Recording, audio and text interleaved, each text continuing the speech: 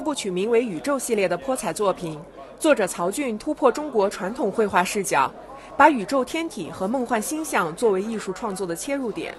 用天然的矿物质做颜料，利用色、线、形的自由组合和运动，将日月星辰、大地、云山、河海等元素渲染出极具视觉冲击力的色彩碰撞，展现宇宙世界的莫测和玄奥。那么，在我的绘画里头，我最早是从中国的水墨出发，但是当我到了西方国家以后啊，呃，我发现很多的东西不得不变，因为我见到的东西变了啊。作品要变，一个呢，我觉得首先是技术层面的东西，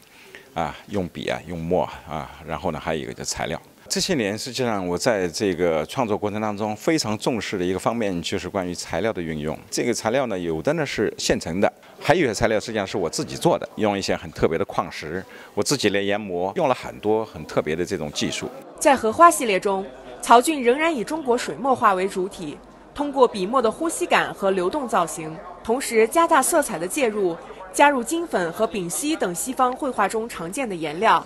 强调绘画作品鲜明的色彩与光影效果，表现出荷花出淤泥不染的品质精神和生机勃勃的生命形态。他把中国传统的唐代的金碧青绿的那个山水，各种金色、金箔、呃云母啊，他是把这些所有材料融合成一个流动的，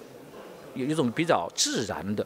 又带有一定的庄严感的金色。你可以从这上面看到水墨的那种晕散、晕染的呼吸的味道，你也看到青瓷的那种啊。这种表面的模糊感，以及它的那种细微的啊，由浓到淡、由轻到重的色泽的色层的细微变化，你可以看到独特的一个造型。这个造型是在是与不是之间，你可以看得到具象，看到意象，也看到抽象。宇宙系列与泼彩荷花是旅美艺术家曹俊新近在北京举办的纽约北京零距离前语言研究展的其中两幅作品。展览共推出十多幅曹骏的代表作。现场。他与美国洛克菲勒家族第五代掌门人史蒂夫·洛克菲勒共同完成的作品《地球的呼吸》引人关注。作品把曹骏的泼彩山水与史蒂夫·洛克菲勒拍摄的海浪视频影像相重叠，用科技的手段把动静两种艺术形式融合成为独具特点的艺术影像装置，实现传统水墨艺术与现代科技艺术的对话。When I first met Cao Jun and saw his art.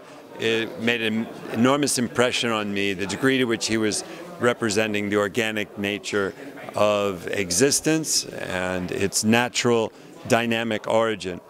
That had the two of us think that it would be good to use technology to represent an actual motion and to collaborate and cooperate across border to show friendship as well. 传统的东方文化教育背景和十几年的国外旅居生活，让曹骏的创作游走在东西方文化之间。他希望用自己的作品，能够唤起人们共同关照自然、关怀生命、关注环境。凤凰艺术北京报道。